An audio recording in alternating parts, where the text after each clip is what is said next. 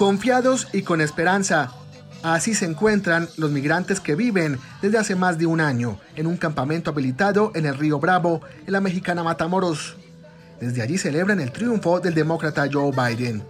Así lo expresa Belina Mejía, migrante hondureña. Me siento muy contenta pues al saber que tenemos un nuevo presidente que lo va a saber valorar, porque tenemos mucho tiempo de estar sufriendo aquí en el campamento, pues por fe de Dios logramos lo que queríamos a Biden.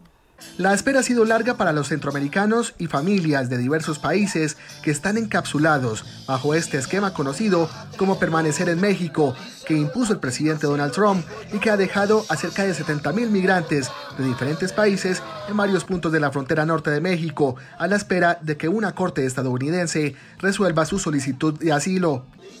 Denis Flores de Honduras espera que se desplieguen acciones que los beneficien pues él ha prometido pues, legalizar más de 10 millones de indocumentados y agilizar los, casos de asilo de las personas que estamos aquí en México, eh, entrar a pelear nuestros casos de asilo en Estados Unidos. Durante la campaña, el hoy presidente electo Joe Biden aseguró que buscará aprobar una reforma migratoria para ayudar a los 11 millones de indocumentados que se estima viven en el país.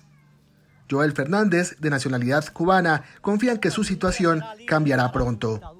Gracias le doy a esa comunidad mexicana que lanzó su voto en masa y lograron sacar a ese dictador, ya que fue con el programa antimigrante, fue tolerancia cero, nos humilló, nos maltrató.